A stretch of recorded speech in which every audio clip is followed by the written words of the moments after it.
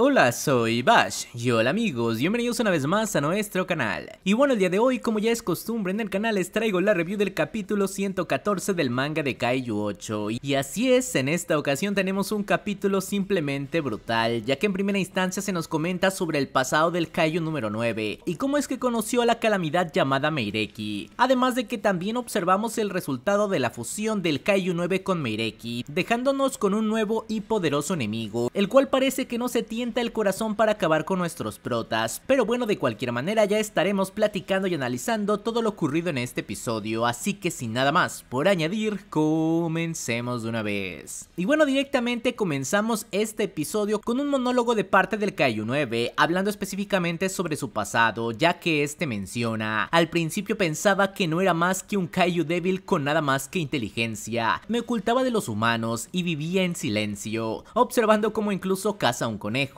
a lo que este comenta, pero un día descubrí algo, diciéndonos una bestia que adquiere conocimiento. De esta forma se nos dice, el deseo que nació aquel día era incontenible, mientras que se nos muestra como al parecer el Kaiju 9 mató a su primera víctima humana, diciendo, descubrí que yo era más fuerte que los humanos. Desde que lo descubrí ya no pude parar, quería saber de qué era capaz, qué había en el mundo de los humanos, la curiosidad crecía y me sumergía en la sed de conocimiento y así como guiado por el destino me encontré con él, refiriéndose precisamente a la calamidad Kaiju Meireki. Y es que sí, esto es bastante interesante, ya que a pesar de que el Kaiju 9 nos relata su pasado, directamente él ya se presenta como un Kaiju con inteligencia, algo que ya de por sí es bastante extraño, además de que de igual manera comenta que él parecía conectado con el destino con el gran Kaiju Meireki, el cual también vemos que ya tenía presencia en el mundo. Obviamente también faltaría explicar cómo es que se creó este gran Kaiju. De cualquier manera, una vez que se nos da la presentación de Meireki, ahora sí regresamos al campo de batalla, pero no directamente con Kafka, sino con Reno, el cual como recordaremos con su nuevo poder se encontraba enfrentando a lo que podríamos decir Kaijus residuales del noveno Kaiju, aunque como recordaremos estos eran extremadamente poderosos, e incluso observamos que parece ser que Reno ya se encuentra herido, debido a que su batalla simplemente no tenía fin. De esta manera frente a sus propios ojos, este observa como de repente los kaijus comienzan a detenerse preguntándose qué es lo que está pasando, a lo que rápidamente recibe un mensaje, siendo el mismísimo Iharu y diciendo, Reno, los de aquí se han quedado parados, a lo que Reno responde, Iharu, allí también, eso significa que el viejo se ha cargado al noveno. Obviamente esta noticia hace sonreír a Reno, sin saber la realidad del escenario actual, aunque directamente esta escena a mi parecer es más que nada para recordar que hay muchos peleadores en el campo de batalla y que en algún momento van a aparecer. En este punto creo que también nos están indicando claramente que Reno va a acudir a la batalla en algún momento. Hay que recordar que precisamente él tiene una de las armas más poderosas y creo que es momento de que observemos su verdadero poder. Así que sin duda alguna Reno va a ser clave en la batalla que está por venir, ya que parece ser que Kafka y la Capitana Mina no son suficientes para vencer a este nuevo Kaiju. Y ahora sí precisamente regresamos al escenario principal, donde como recordaremos el Kaiju 9 o lo que quedaba de él fue capaz de atravesar el núcleo del Kaiju 8, a lo que Mina simplemente se quedó observando este terrible escenario, gritando con desesperación el nombre de Kafka. De esta manera en el cuartel general, rápidamente un agente grita, el núcleo del octavo ha sido dañado, se detecta una nueva reacción Kaiju dentro del noveno, mientras que dicen, ¿cómo es posible? No se suponía que había destruido el núcleo del noveno, a lo que rápidamente preguntan, fortaleza estimada, pero rápidamente responden, al igual que con el noveno es incalculable, sin embargo, la onda que emite es completamente diferente de la del noveno de hace un momento. Ella no es, es una entidad completamente diferente. Y así es, básicamente en este punto se nos confirma lo que ya sabemos. El noveno finalmente ha caído, o al menos eso parece ser. Y el que controla el cuerpo del noveno actualmente es el mismísimo Kaiju Meireki. De esta manera ahora dirigiéndonos con el Kaiju 8, observamos que ante el ataque él intenta reaccionar, abriendo sus ojos una vez más para intentar hacer algo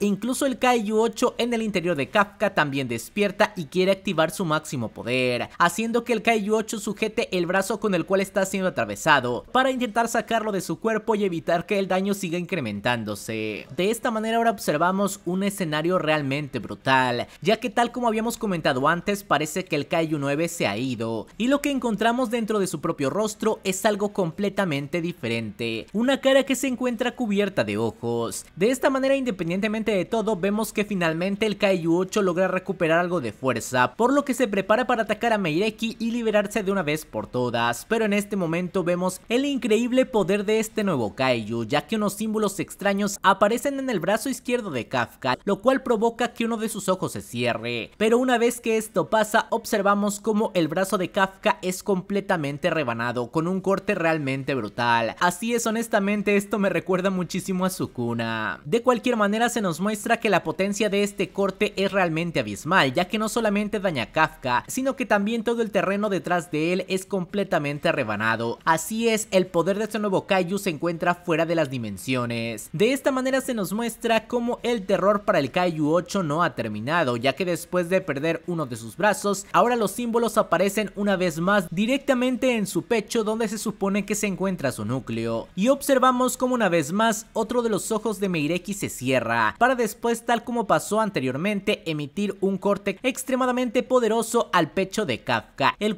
parece aniquilar por completo su núcleo, lanzándolo a lo lejos a una potencia realmente abrumadora. Ante este escenario todos quedan completamente en shock, ya que su arma más poderosa acaba de ser aniquilada en segundos. Así es, revelándonos un escenario realmente desgarrador, ya que solo podemos observar al Kaiju 8 sin su brazo izquierdo y con el pecho totalmente rebanado. Así es, casi le hacen un Goyo, pero esta vez no fue completo, al menos una parte de su torso sí logró mantenerse. De cualquier manera, el escenario que estamos observando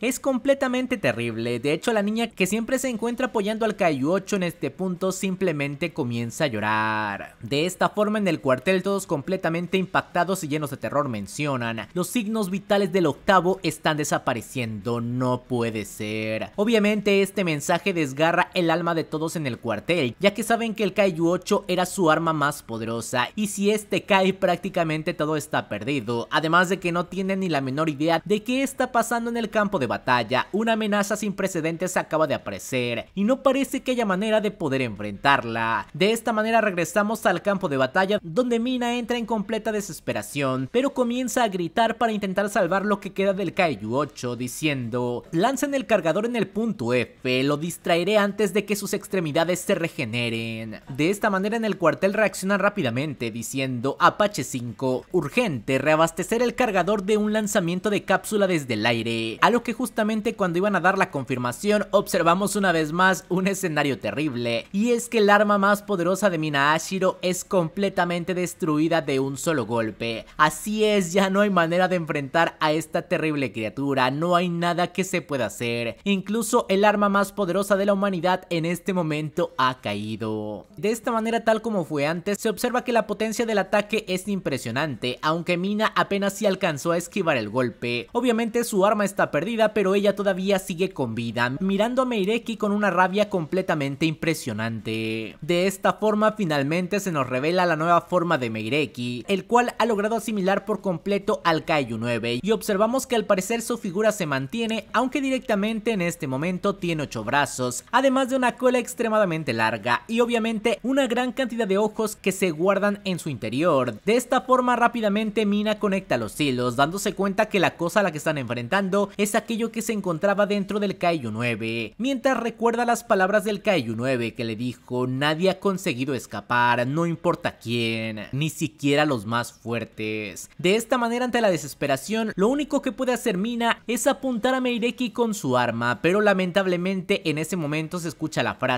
nadie ha podido escapar, ni uno solo en la historia, mientras observamos cómo los símbolos de corte aparecen justo a la mitad de Mina Ashiro, por lo que sí todo parece indicar que su final es completamente inminente, pero en este momento terminamos el episodio sin saber cuál será el destino de Mina. Obviamente yo creo que alguien tiene que llegar a salvar a Mina, el único problema es que este al momento no hay señales de cómo demonios se detiene este corte, ya que se parecen bastante a los de Sukunas, siendo cortes directamente invisibles e ineludibles, así que no sé quién será el valiente que logre evitar estos cortes. Creo que los ojos de Meireki podrían ser una clave ya que vimos cómo se nos mostraba que cuando se lanzaba pasaba un corte también uno de los ojos se cerraba, así que tal vez si bloqueas la vista de Meireki o atacas los ojos puedas debilitar este corte, pero bueno, sin duda alguna, la aparición de Meireki en este punto es una absoluta locura, un enemigo realmente devastador, una calamidad, una criatura que simplemente no puede pararse. Y bueno, ¿qué les puedo decir? El capítulo ha sido totalmente impresionante. Como ya comenté antes, yo creo que van a llegar los refuerzos debido a que parece ser que el Kaiju 9 ha desaparecido completamente. Es decir, ya no hay más planes, simplemente una única y terrible amenaza. Por lo que creo que en este punto todos los del cuartel van a poder reunirse en este campo de batalla para atacar a un único enemigo. A mi parecer eso es lo que veremos en próximos capítulos. También es posible que el subcapitán Hoshina sea el que termine salvando a Mina, creo que esa podría ser una opción interesante. Además de también la llegada del capitán Narumi y claro también Kikoru Shinomiya. La verdad es que creo que esta batalla será de todos contra este nuevo Kaiju. Y bueno, particularmente hablando del Kaiju 8, obviamente creo que este se va a recuperar y se va a levantar. Sobre todo creo que en este punto tal vez él sí tenga que sacrificar su humanidad completamente. Ya que hay que recordar que tenía un límite de tiempo para la forma Berserk y creo que eso ya no es suficiente para enfrentar este Kaiju. De cualquier forma, el Kaiju 9 nos dio la clave del poder del Kaiju 8 en el capítulo anterior, diciendo que este todavía no tenía sus recuerdos completos con respecto a qué significaba ser el Kaiju 8. Y una vez que logra acceder a estas memorias, muy probablemente su verdadero poder va a despertar, ya que parece ser que el Kaiju 8 precisamente fue creado para detener a Meireki. Así que sin duda alguna creo que se viene Power Up para el Kaiju 8, aunque supongo que como dije, primero vamos a tener la llegada de múltiples personajes, al menos eso creo. De cualquier manera las cosas se están poniendo extremadamente interesantes, y de hecho también algo que me pregunto es si los humanos que vimos dentro del Kaiju 9 forman parte también de Meireki, ya que hay que recordar que el Kaiju 9 hacía referencia a los más fuertes e incluso en ese punto llegamos a ver a un samurái, por lo que puede ser que todo eso esté conectado con el pasado de Kafka, y tal vez si se liberó Meireki, también tal vez el espíritu de algún humano pueda ayudar a Kafka en esta situación. De cualquier manera el capítulo ha sido completamente tremendo, me encantaría que me dejen su opinión y teorías en los comentarios, y antes de despedirme quiero agradecer a todos los miembros del canal que siempre nos están apoyando. Y muchas gracias a los dioses Roland, Lucas Campodonico, 089, Maxi, Ayrton Peralta, Gonzalo Salazar, Gustavo, El Dusabe y Sebastián Betancourt. Y ahora sí, sin nada más por añadir, adiós. monster,